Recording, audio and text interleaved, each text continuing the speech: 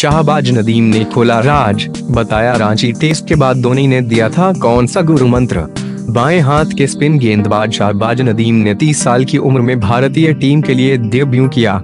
झारखंड की तरफ़ से खेलने वाले इस खिलाड़ी ने दक्षिण अफ्रीका के खिलाफ रांची टेस्ट में पदार्पण किया और मैच में चार विकेट लेने के साथ ही एक महत्वपूर्ण रन आउट भी किया।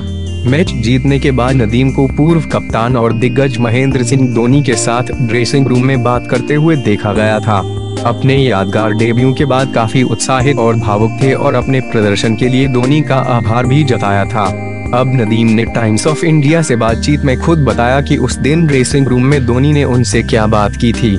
नदीम ने कहा, मैं उनसे मैच के बाद मिला और पूछा कि माही भाई मैंने कैसा किया, इस पर उन्होंने कहा, शाहबाज, अब तुम परिपक्व हो गए हो।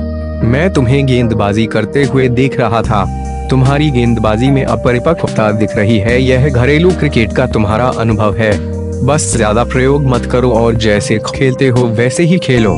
तुम्हारा सफ़र अब शुरू हुआ है। शाहबाज। बता दें कि वर्ल्ड कप की सेमीफाइनल में हार के बाद से धोनी टीम से दूर ही रहे थे और वेस्ट इंडीज दौरे के बाद दक्षिण अफ्रीका के खिलाफ सीरीज़ में भी अपनी अनुपलब्धता बताई थी। लेकिन टीम इंडिया के रांची टेस्ट जीतने के बाद धोनी पहली बार टीम के साथ नज़र आए और जीत के जश्न में भी शामिल हुए।